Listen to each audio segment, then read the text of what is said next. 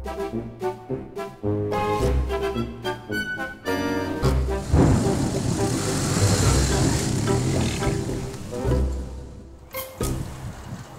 we see the uh, the suspicious building. We've got uh, reports from the neighbors that there's been a lot of uh, comings and goings.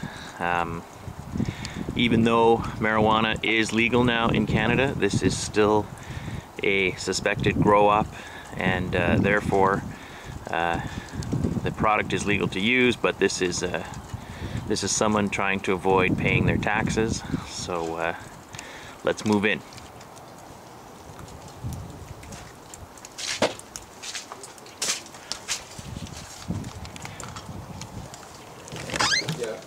And uh, uh oh, there's trouble. Oh, it's just D-gens. How's it going? What's happening? Having coffee. So we're, uh, guess we're all staying at Ivan's tonight. Yeah, probably. We're gonna shut down the bridge.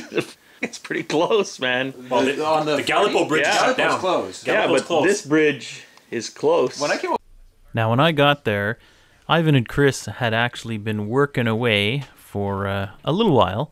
And uh, when you heard us referring to potentially having to stay at Ivan's, that's because Ivan lives just off the island of Montreal in a city called Vaudreuil.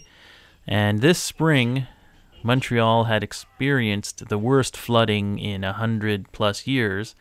So one of the two bridges leading off of the island on the west end was actually closed, and as I was driving out to Ivan's, uh, the other bridge was about a foot or so away from being closed.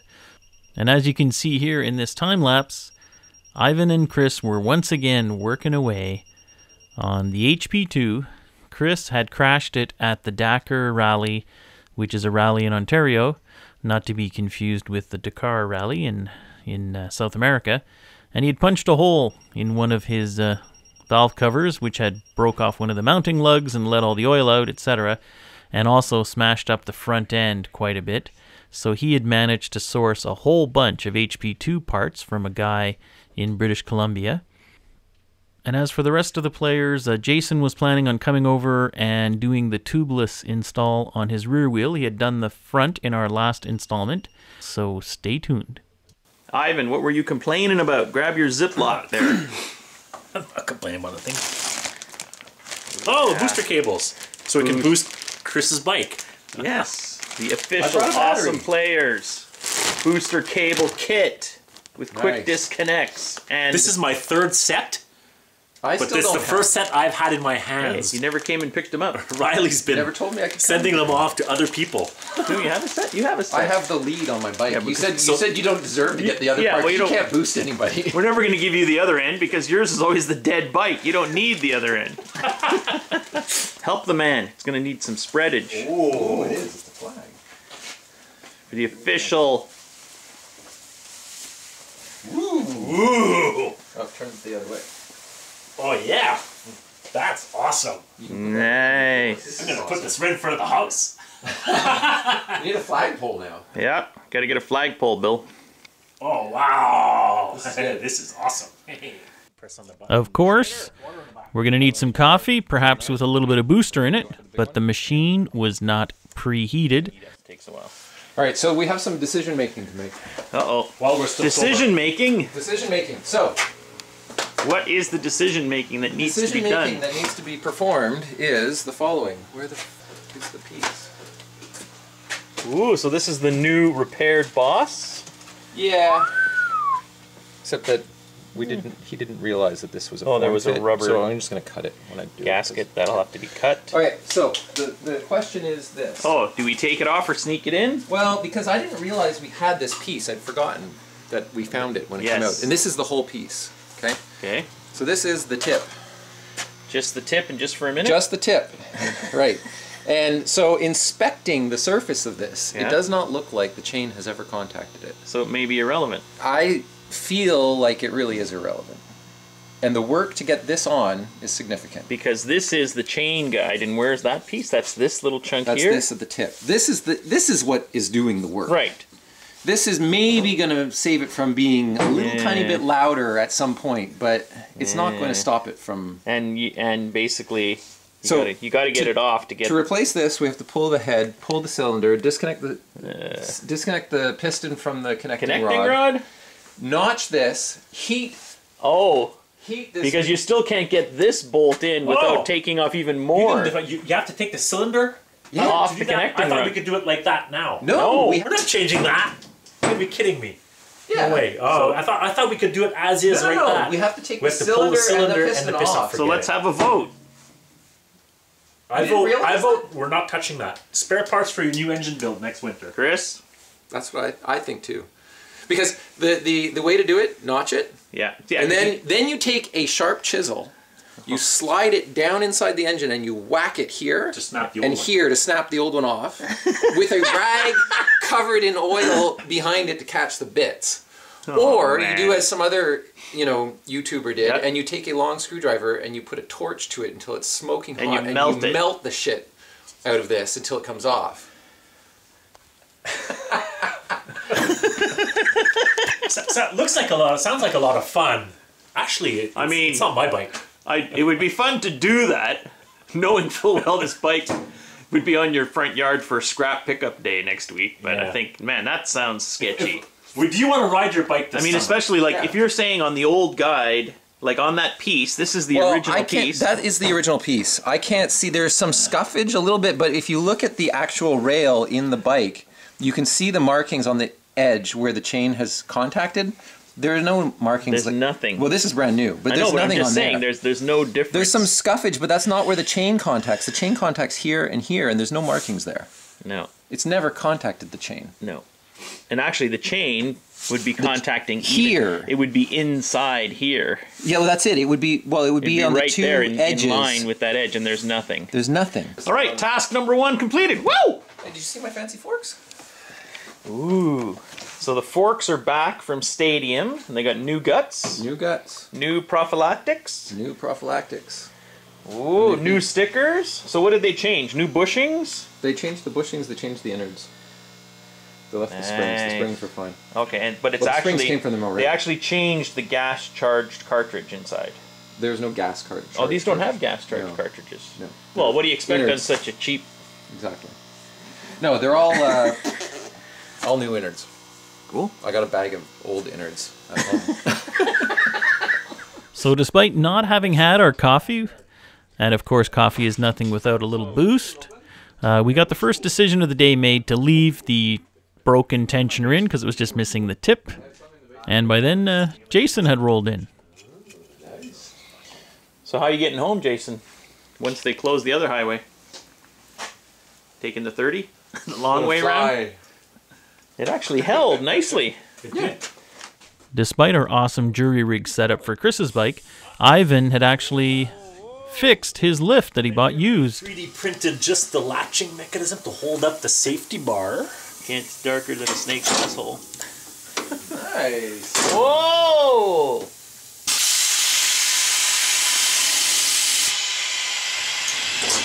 Oh, safety. Ooh, actual weldage. Safety first. Nice. Safety third. So now it won't go down. Jason had come bearing gifts. Gifts. Get, in case in case you didn't get your supply yet, SC1. since last time people were complaining I was using too much brake cleaner, so I brought my own. People were complaining because you were never said I wanted sniffing it. it. It was the sniffage of the brake cleaner. It was not the overuse. Thank you, sir. Pleasure.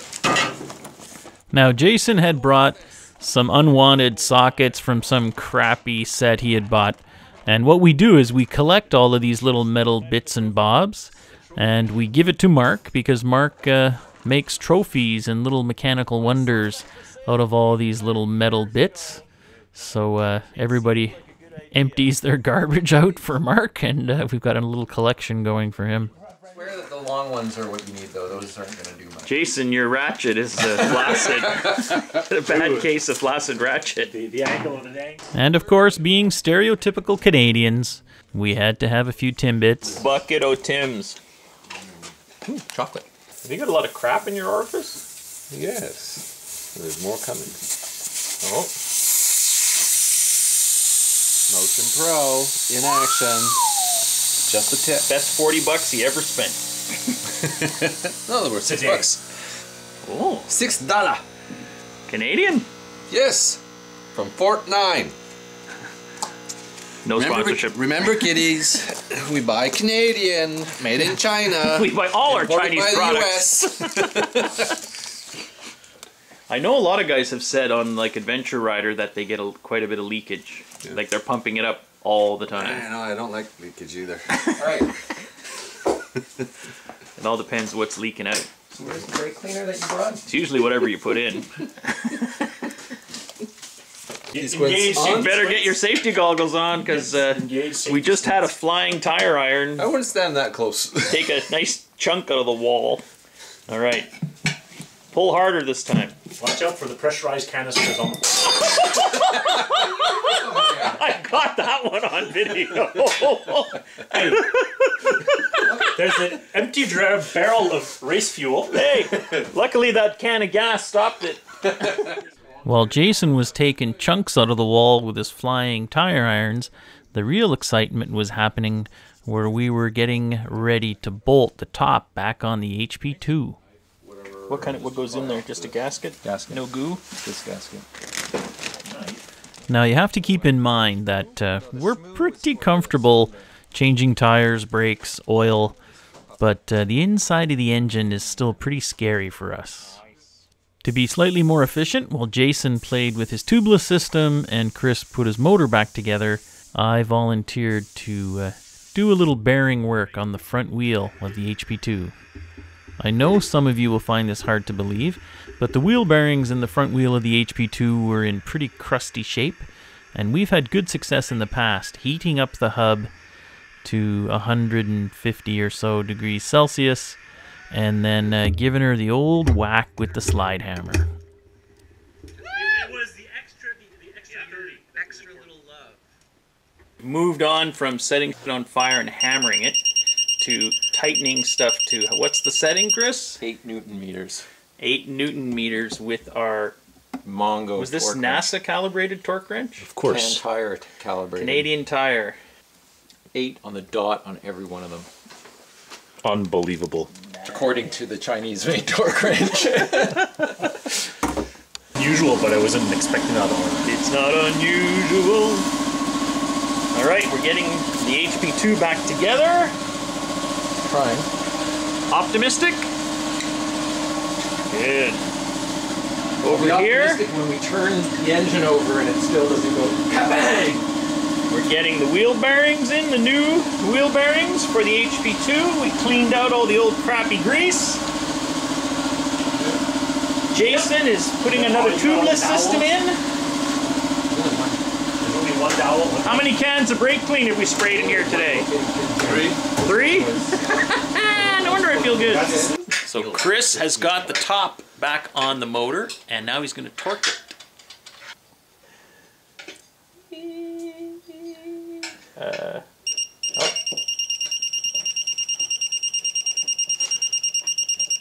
Oh, it went red. 20.02. It goes red when you hit the number. Okay. diagonalize it. So that means we don't have to already put a new head gasket? Did you put the head gasket in there? Yep. Oh, good. Why is it sticking up? Does it stick up on the other side, the head gasket? It has a little tab that sticks out. Give her, bud. This is just we got we got to do this three times. Start from farther back. Or use a t- wrench to get it.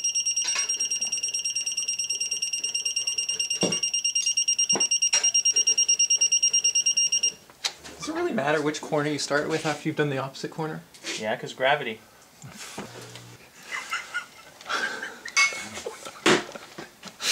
the weight of the head is pulling on that. It's gonna give you a false reading. Fucking unbelievable.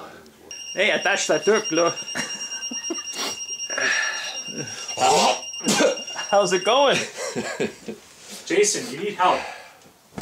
Nah. The kind of help he needs, we can't give. Yes. Well, now you know why they don't come from the factory with this shit. We'll get back to you later. Alright. Jason, what tool were we not using? Not this. Ah, so what does that do?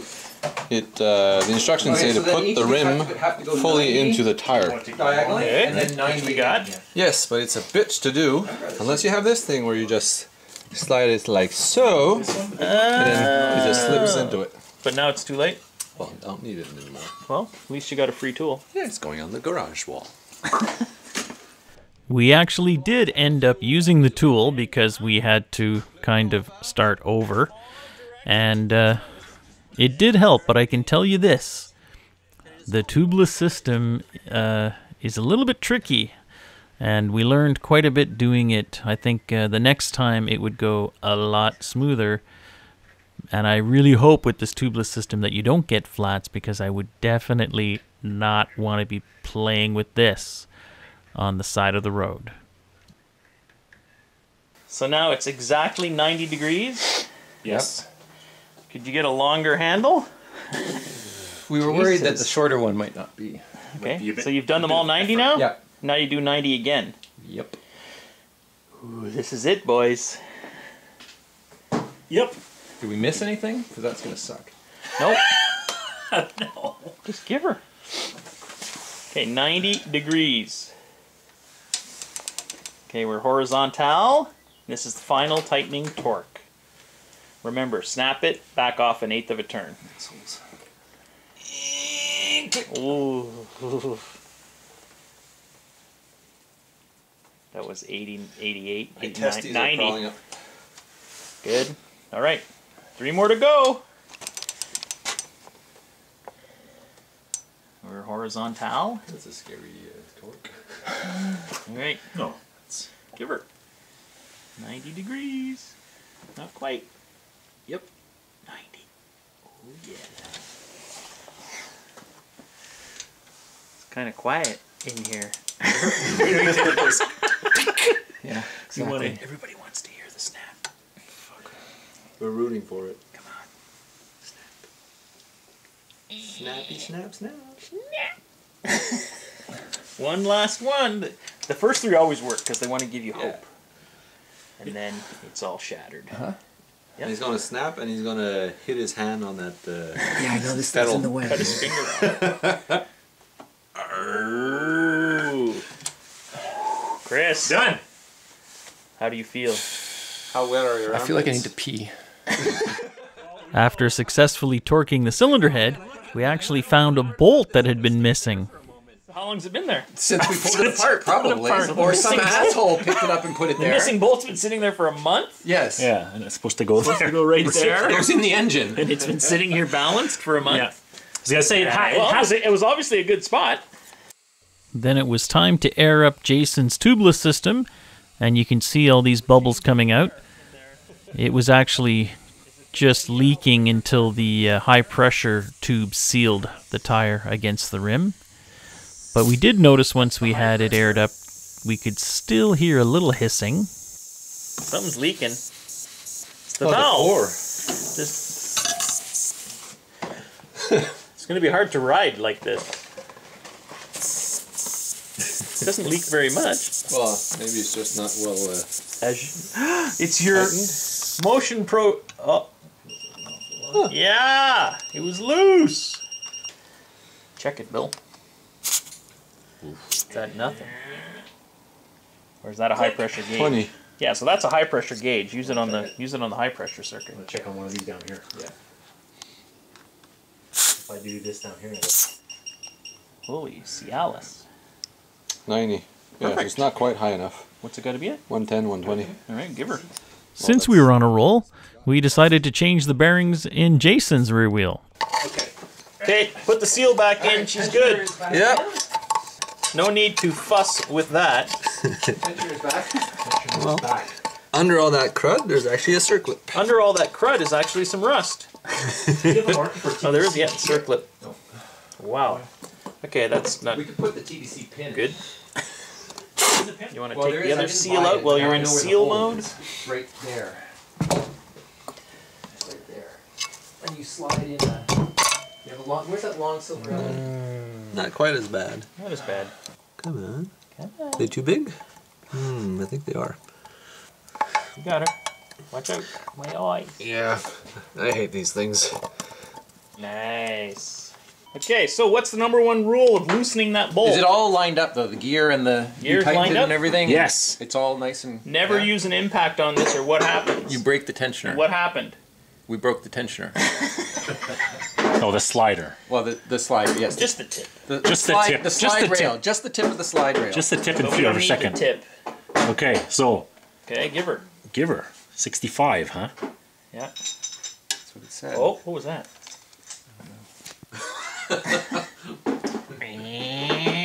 Man, you're way out. Come on, Dunzee.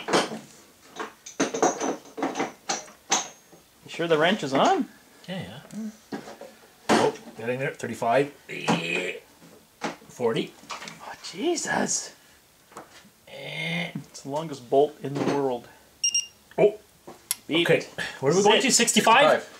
65, one smooth, torque. Oh, I'm not as good. 65.6. Woo! Yeah. Never done why are, why are we needlessly changing wheel bearings? Ah, there's nothing to do. We can't I mean- ride, so this is second best to riding. It's Maintenance. Yeah. This sand looks fresh. Man, this still had a couple more kilometers in it. yeah, a couple, maybe three. Three.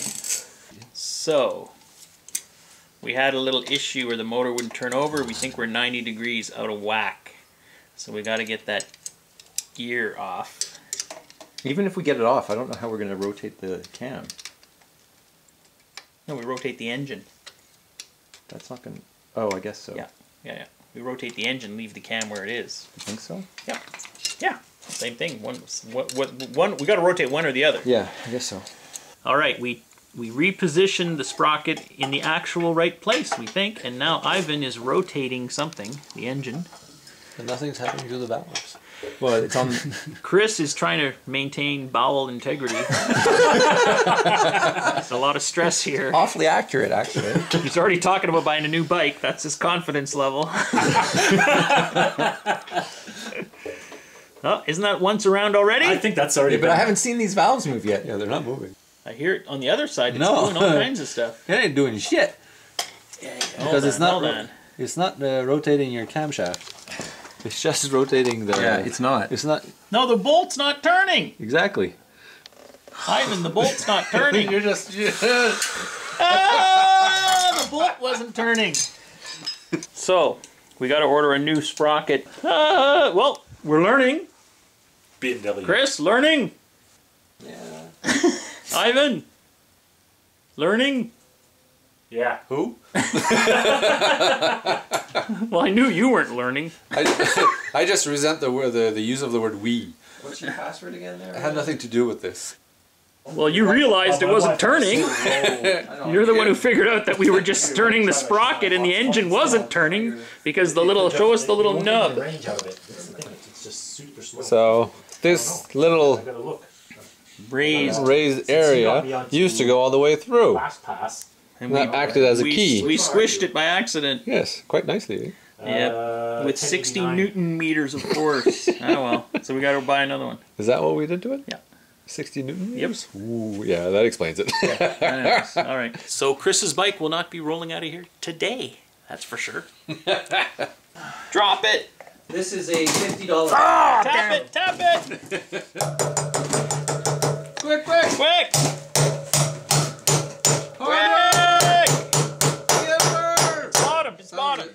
Sure? Yeah, I heard it. One more time. Chris, whose bike is this we're working on? Ain't mine. Ivan's gonna own it soon. Hey, what do you charge per day for storage? Uh, 50 bucks? Oh, yeah, he owned I it thought like it was 5%. He owned it Right. five days in.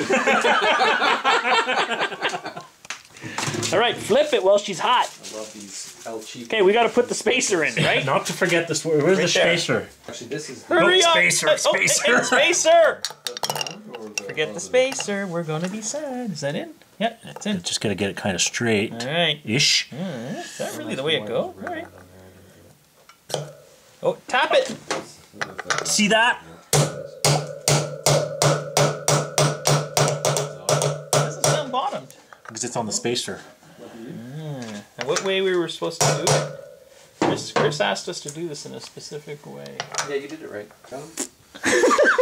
It's picture quality. All right, Chris, get in here, Bill. We got to do our wrap up. Talk loud because the speaker's far. Oh, where's? We're missing somebody. Ivan, you're not in there.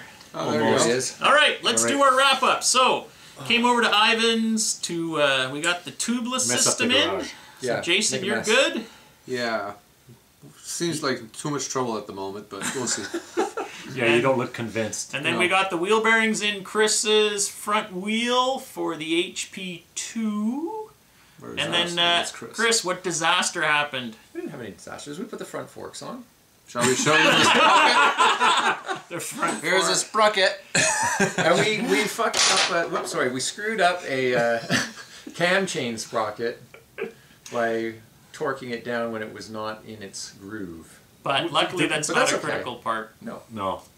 should Oh, be where's good. Ivan? I keep going the, The wrong worst, way. the worst wood rough groove keyed Yeah, it was not a piece great of design. machining ever seen. I mean, it was pretty obvious there was a notch, and we were supposed to put it in the notch, but we just didn't.